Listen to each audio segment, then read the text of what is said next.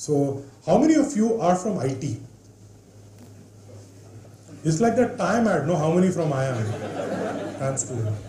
So, I think the first question that probably all of us are interested to know is uh, most of us have a very typical IT profile where we have worked in IT maybe two years, five years, six years, but uh, eventually when we apply to a B school, we end up having very similar stories to say.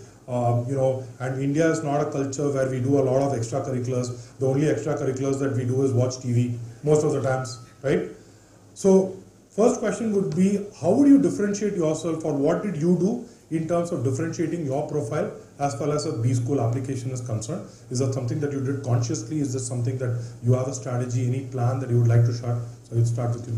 Yeah, there was nothing like big strategy type, but uh, actually had uh, not complete. I worked for Oracle only for one year, so it was Right. again out of IT, and I was working in uh, Darvish in Abu Dhabi, so it was a kind of differentiation maybe for them. And again, I came back over here and I was working in logistics firm, so I was out of IT, so maybe it worked for me. And business development also, right? Functionally. yeah, functionally business development, I was into logistics industry, so no, no more into IT. I wasn't in front of computers for the last one year, so Very good. Except for checking Facebook. I think that is mobile. Mobile. Uh, so yeah, uh, I have two years experience, only IT, but uh, I didn't do anything, but I set in applications that I worked with my family's business. Uh, that's the only thing to differentiate I tried to portray, but otherwise I'm just an IT guy. Okay. This could be a little louder.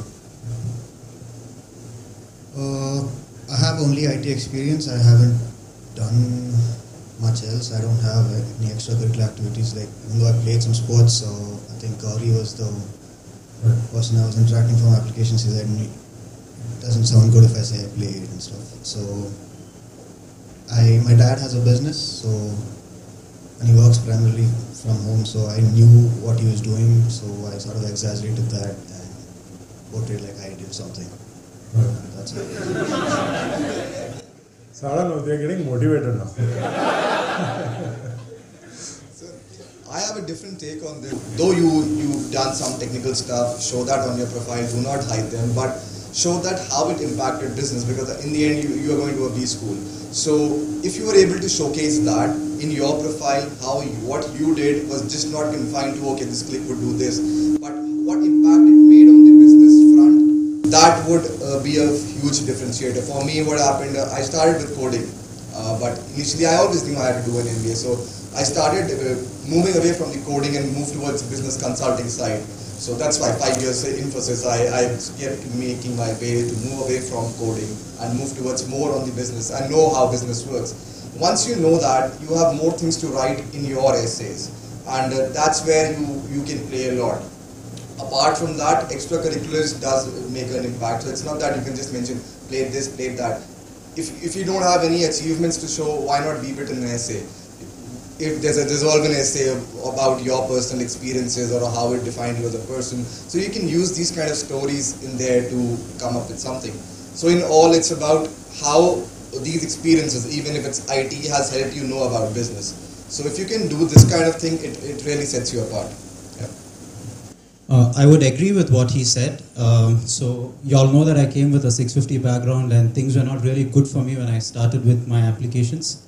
I was kind of torn, and then I sat with Arun and Gauri, and then we had to really work hard on the application side of things to get into a reasonably good B school in the US. So, the, the way I went about doing this was uh, uh, so I was always passionate about automobiles, and right from my childhood, I was I was into assembling bikes and cars and and so on. And and my, uh, again, so uh, what I would like to say is IT is not the culprit here. The culprit here is what's your passion and how well you connect your past and your future to it. So my the, the common thread that I had in my profile was I was an automobile fan.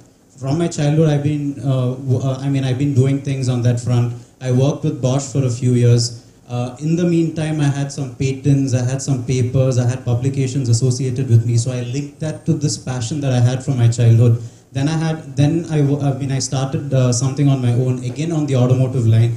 And my future is also going to be automotive. So I was confident about that. So I wanted to expand in the sphere of automotive electronics in the future. So, so that's the thread that I had, and that's something that, I didn't realize But then that's something that came through a lot of brainstorming sessions, and that formed the background for my story uh, in all my essays. And that clubbed with technology and business, uh, uh, I, I think it worked well because from a 650 to a school where you know the average GMAT score is around 680, 700, I think the essays really played well. So I think that's the kind of strategy that I used. So I think uh, just to summarize, you know, I think one point is though you're an IT, try to look for a different kind of role, try to look more into the business side of things, and if you want to embellish it by you know putting in some other experience that you have, and most importantly, if you're able to get a passion and you're able to drive home the point with that passion. So yes, uh, someone used the word culprit. IT is the culprit, but along with that, I've also done something. I've also pursued my passion. I think that that's a very good point.